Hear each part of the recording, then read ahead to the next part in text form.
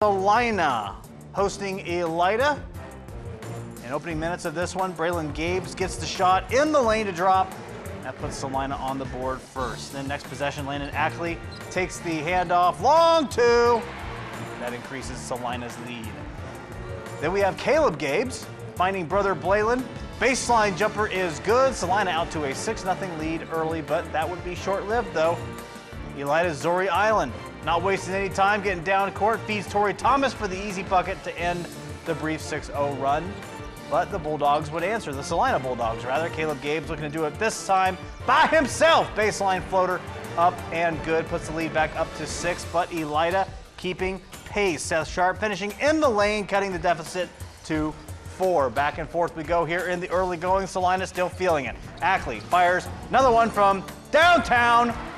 Three-pointer is good. Celina wins a close one at home tonight, 43 to 40 in Western Buckeye League action.